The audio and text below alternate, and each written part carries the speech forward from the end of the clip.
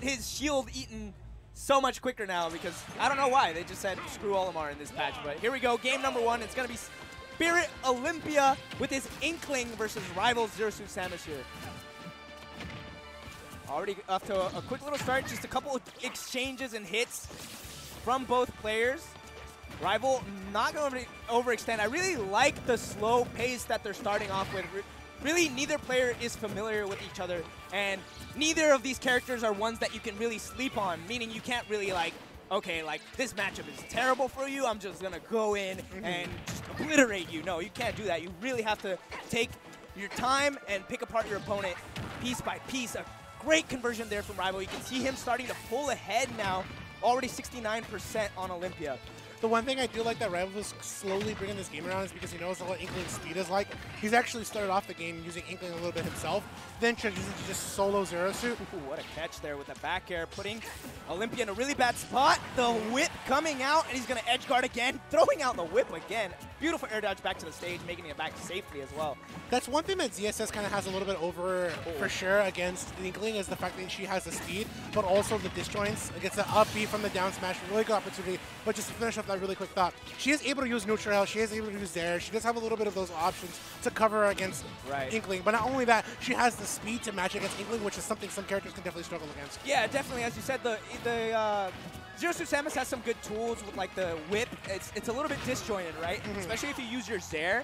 Uh, Inkling doesn't have many disjoints. Her wings Exactly. aren't very long, so you're going to be able to keep her zoned out with those tools. Exactly. One thing Inkling is going to be relying against is back air, but I'm not really seeing that from Uh-oh. Olympia. What I am seeing is a flurry of up airs Looking coming out from Smash Rival. Force. I like that. Comes back around with the flip kick. Great option Yeah, to kind of confuse Olympia. Lots of damage. After he had no guaranteed follow-up right there, he gets the read with the uh, flip kick and just continues to build this lead right here. 150% on his first stock still. Life nearly expired, but he's playing so beautifully around Olympia that he's just not even getting hit. Using the flip kick to get himself out of disadvantage, similar to like a quick attack, really. And you got to be careful with it too.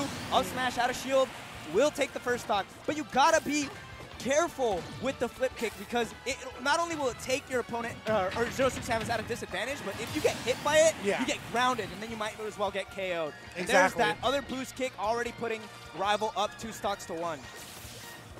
At this point, right, he's got so much advantage that we kind of see Rival kind of sticking back a little bit. He doesn't have to make too much of the approaches here, but it's up to Olympia to go ahead and find an opportunity. All right, Rival kind of keeping a little bit pacey. He's letting Olympia come into his range here and then immediately moving away, trying to see how Olympia's going to react because he's the one in the hot seat. Gets us there, doesn't follow up, another Oh, neutral air, but he nice sets up a combo nice. Oh, what a catch, dude. The air dodge in with the up smash. Rival has this man read like a book. Exactly. And Olympia definitely went for that directional air dodge towards the platform because he doesn't want to get taken off stage and then immediately get edge guard the way you would be against ZSS. So he knows what's at stake when he gets off stage against ZSS. For Olympia here, he's kind of making sure, like, okay, I want to make sure I'm behind, right? I get my opportunity coming with a back air, but Rival takes the initiative. Having that disjoint, having that down smash, definitely really big against Olympia. Yeah, and a huge conversion too, uh, following up with the neutral air and getting a back air to boot. Not only racking up tons of damage, but putting Olympia off stage. Good parry there. Knowing that Inkling's love to go for that roller, that's not going to give him that time of the day to go for that option. On the return, looking for the flip kick, Rival has a lot of the control here, and it's Nice. all because of that aerial game that he's playing here. He's making sure his time is spent in the air alongside Inkling is even, but the damage he's dealing is not. Nice F tilt putting Olympia back off stage here.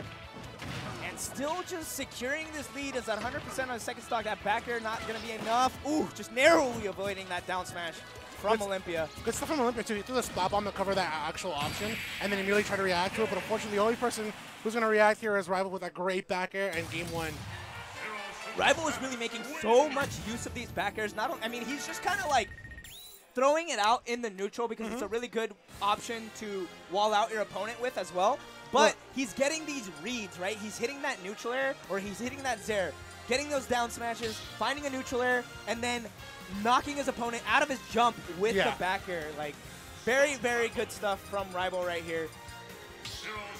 Looks like uh, maybe 100 Thieves should sponsor this guy, right? Like, I'm not, look, he looks fresh in that Yeah. jersey. I'm not going to lie. Dude, I'm he not gonna looks- lie. When he walked up, I was like, that kind of looks like rival from the back, but dude, this guy looks pro. He's He does. the He, he, look, like, he has the pro unsure, I was esports look. dude. He actually has the police. 100 He, Thieves. he has the haircut, the Pick shoes, up, the 100 jersey, the jersey. Even if you don't pick him up as a sponsor, pick this man up for his game, man. Let him model for your clothing. He looks flying. Yeah, absolutely. But in the meantime, we are going to kick off game number two here on Town and City. That's going to be the counter pick from Olympia. Really interesting.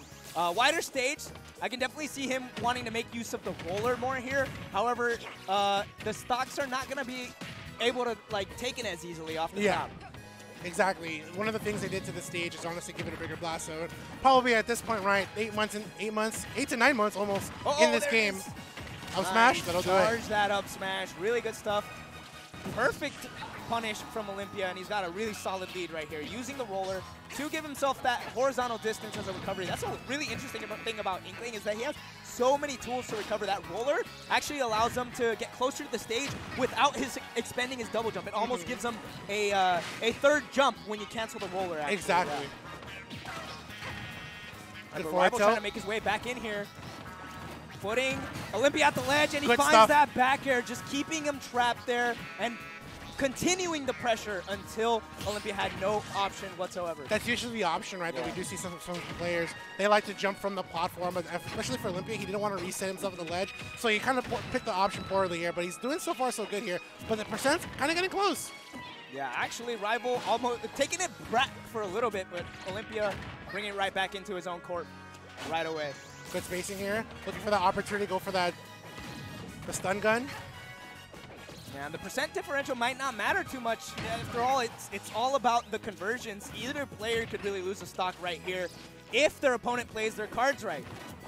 Exactly right. You can have the percent lead, but when it comes down to getting conversions, that could be the one thing that makes a difference. Not only that stage control, look at how much Rival has definitely lured Olympia to respect him, especially when he's at the platform, especially how we saw that back air earlier. Good side B, Yeah. you put Olympia off the stage, he's making sure he's got a hitbox out there for Olympia to watch out for. Speaking of stage control too, you see that Inkling uses the roller on the ground, and even if it doesn't hit, finding that up smash though, putting Rival on his final stock here, game two.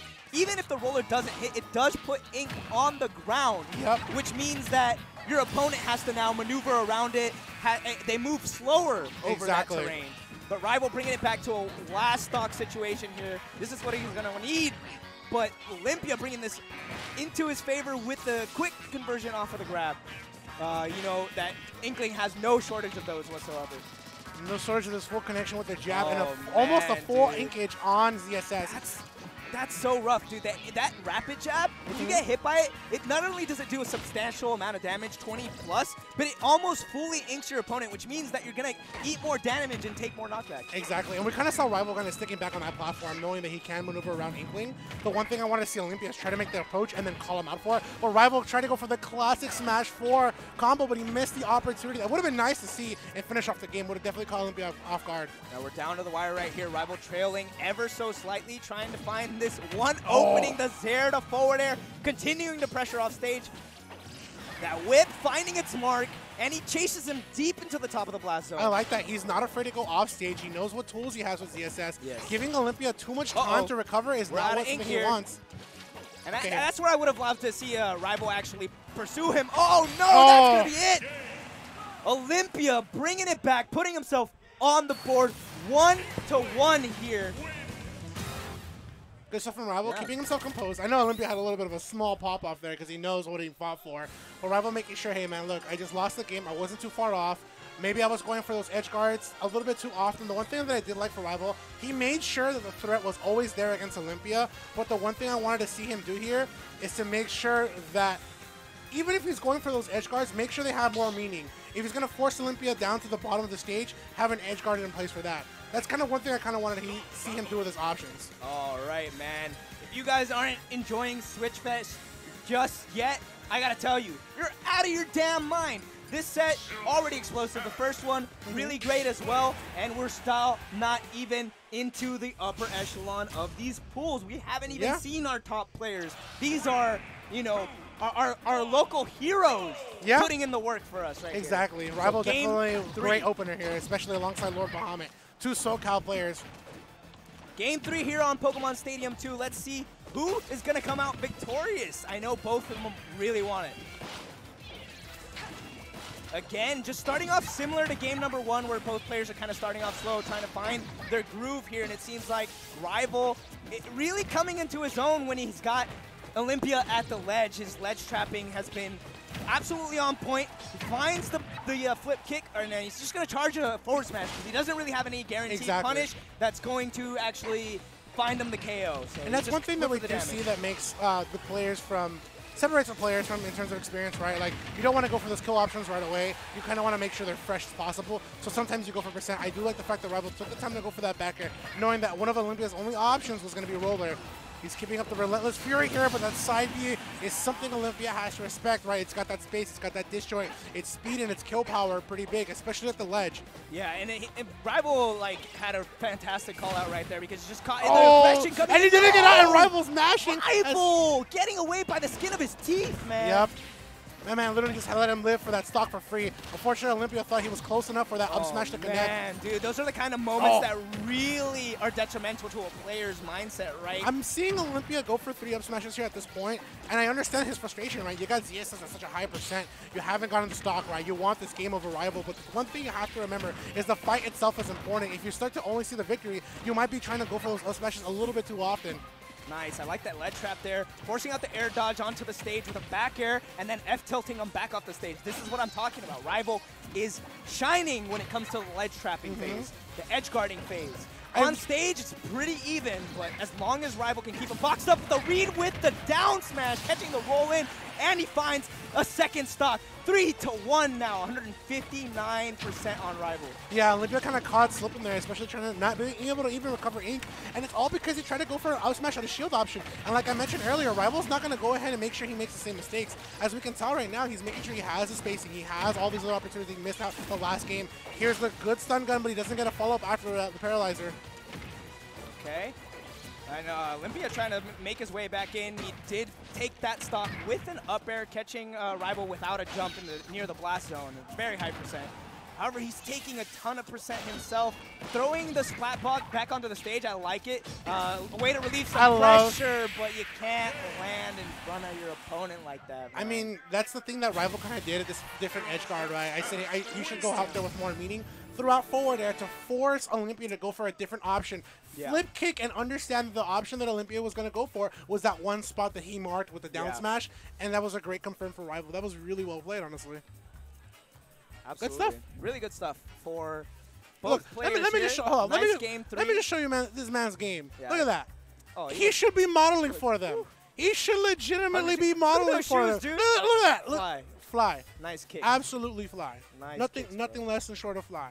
Absolutely. I think you fixed the camera. We're fly too, man. Don't worry about it. Yeah. Gotta, gotta, gotta look at us, bro. Oh, you're Well, a little tall, bro. That- That's what I'm telling you. I'm, that's, it's it's a blessing and a curse at the same time. You know, when you're six feet.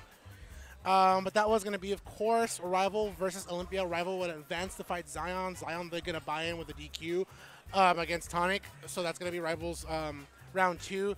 Zion, a player from SoCal as well. Uh, I do know he uses Joker, and I know sometimes I've seen him use here a couple times here, but that's not going to be the what we're going to be watching next.